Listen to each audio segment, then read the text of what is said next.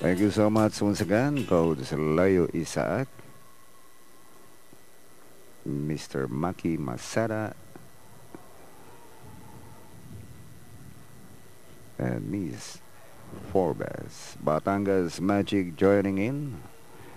Last call to place bets only Tarzan. Still outside.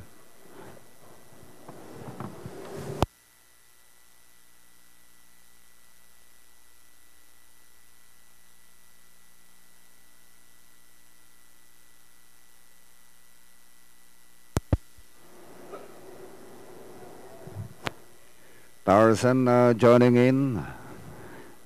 Set now ready for dispatch. 1400 meters the journey.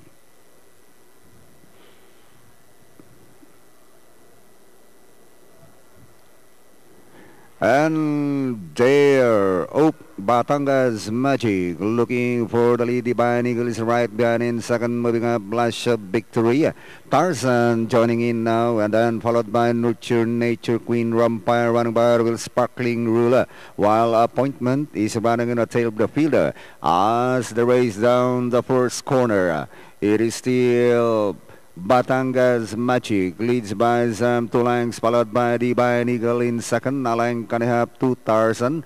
Four lengths back in fourth Blanche Victory Nurture Nature running by Will Sparkling Ruler. Next on line by Zam six lengths appointment while Queen Rumpire now running in the tail of the field. Halfway down they travel Batangas Magic still in front by Alang Divine Eagle trying to get closer in second.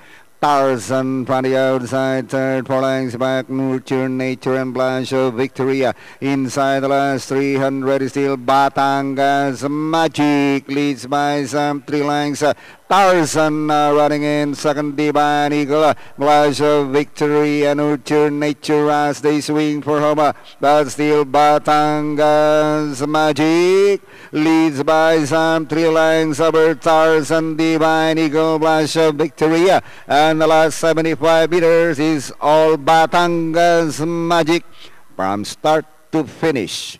Second, Tarzan, of Victory, Divine Eagle, Appointment, Nurture Nature, Queen Rumpire, and Sparkling Rule. Okay, banderan tapos. Numero 4, Batangas Magic. Na segundo, numero 8, Tarzan, of Victory,